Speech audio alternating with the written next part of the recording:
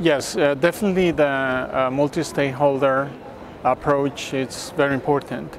uh, to uh, discuss all these uh, issues and uh, we should keep and maintain this platform so all stakeholders can provide their inputs and points of view.